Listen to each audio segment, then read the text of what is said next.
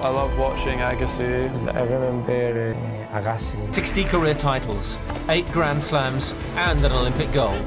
Andre rightfully so taking his place among the greats in tennis. Andre Agassi is an eight-time Grand Slam champion and an Olympic gold medalist. He's one of the greatest tennis players of all time. However, beyond the awards and fame, life was not that kind to him. So let's talk about the action-packed journey of Andre. His complex relationship with his father, his experience with crystal meth, the toll of his professional achievements, and his post-retirement philanthropic plans. Uh, amphetamines, right? Uh, crystal meth. It's actually dangerous. Crystal meth, but I'm not talking about Breaking Bad. I'm talking about Andre Agassi. Yes, you heard right. Andre candidly mentioned in his autobiography that he struggled with drug addiction, particularly with crystal methamphetamine. Andre's addiction was a significant aspect of his life. However, his decision to open up and discuss his meth addiction in his autobiography was an important step towards self-accountability. By sharing his story, Andre hoped to provide real-life struggles and inspiration. Andre revealed that he was introduced to crystal meth by his assistant, who he referred to as Slim. According to him, Slim dumped a small amount of crystal meth powder on a coffee table and out of curiosity, Andre decided to snort some of it. After doing meth, Andre described a roller coaster of emotions. He initially regretted it, but then he was overwhelmed by a sense of euphoria. The feeling of being high is due to the release of dopamine, a neurotransmitter that is associated with pleasure or reward. Andre depicted his experience with crystal meth and highlighted the addictive nature of drugs. Although he felt shame and sadness simultaneously, he found himself drawn back to it due to its high-intensity euphoria and energetic experience. Andre's drug abuse was also aligned with his underperforming tennis period. By late 1997, he had dropped to number 141 in the ranking. He struggled to regain his form, but he ultimately managed to return to his career and achieved further success. His battles and struggles with addiction undoubtedly had an impact on his performance and his personal life. My dad rips the racket out of my hand, pushes me aside like I'm, you know. He doesn't care where or when or how I make Stefanie my wife. That's how Andre described his father's reaction before his marriage to Steffi Graf. Andre not only dealt with drug abuse, but also faced a complex relationship with his father, Mike Agassi. Andre was groomed by his father to become a tennis champion from a very young age. Mike, a former Olympic boxer, recognized Andre's talent and dedicated his life to coaching and guiding his son in tennis. Mike was very ambitious for his son's tennis career. He often pushed him to his limits in training. Mike instilled hard work and determination to succeed. He also shaped him into a formidable player. As Andre's career progressed in professional tennis, he gained a sense of appreciation for his father's influence and sacrifices. Despite his rigid nature, he recognized the impact of his father on shaping his success and character. Meanwhile, the relationship between Andre and Mike was not all about coaching and training. Like every father-son relationship, they also faced occasional friction and sometimes he struggled under the influence of his father's expectations which led to conflicts and tension. Andre mentioned that his father was not interested in being a part of his marriage with Graf. He didn't disapprove of her either. The marriage took place in the presence of both couples' mothers. Andre mentioned, My father insists he's not the least bit slighted by not getting an invite, Agassi wrote in his book. He doesn't want an invite. The last thing he wants to do is attend a wedding. He doesn't like weddings. He walked out in the middle of my first. He doesn't care where or when or how I make Stefanie my wife, he says, so long as I do it. She's the greatest women's tennis player of all time, he says. What's not to like? But in later years, Andre and Mike reconciled the differences they had which fostered a deeper bond based on mutual respect and gratitude. Andre cherished the lessons and values instilled by his father. He also recognized the profound role of his father in shaping his life. Through the highs and lows of this tennis journey, his father remained a great source of support and encouragement for him. In the late 1980s, the world of tennis got a much-needed boost to bring back the excitement it once had when Andre Agassi arrived. He brought a whole new level of energy to the game with his extraordinary style and confident gameplay. Unlike other players of his era, he not only just played tennis, but also set a great benchmark for other athletes. With his fleshy clothes and bold personality, he was able to capture everyone's attention. Nike noticed Andre back then and gave him a big endorsement deal. They also created a special line of clothing and shoes just for him. His outfits were bold and extraordinary, just like his playing style. One of Andre's most famous looks was acid-washed denim shorts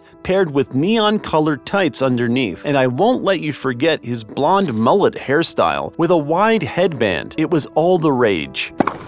Agassi is the new Ford Australian Open champion. Beauty with brain, or I should say, beauty with athletic reflexes. Andre was not all about his looks. He had a great skill set. He usually hit the ball harder and faster than every one of his time. His powerful shot selection and lightning fast reflexes made him one of the biggest tennis stars of the 90s. Andre's professional achievements include eight Grand Slam titles, including victories at each of the four slams. Andre also won Olympic gold medals in men's singles at the 1996 Atlanta Olympics. He was also ATP Player of the Year in 1999. Andre also played multiple championships for the U.S. He was inducted into the International Tennis Hall of Fame in 2011. Andre's longevity, consistency, and game solidified his status as one of the greatest tennis players of all time. Talk to us about this relationship. We listen to each other, we respect each other's opinions. Andre's personal life made headlines too. He married fellow tennis legend Steffi Graf, and together they became one of the sport's most famous couples. Even after retiring from tennis, Andre made himself busy with philanthropy work, especially in education. He opened a tuition-free school and a boys and girls club to help needy kids. In short, Andre was not just a tennis player, but a philanthropist also, who left a lasting impact both on and off the court. Andre Agassi's journey includes triumph, resilience, and redemption. From his rise to tennis stardom to his challenges with personal life, through his candid revelations about his struggles with drug addiction, his complex relationship with his father, and his unparalleled achievements on the tennis court, Andre has left an indelible mark on the world of tennis and beyond, which no other player has ever done. YouTube's algorithm thinks you like this video next. Let's see if they're right.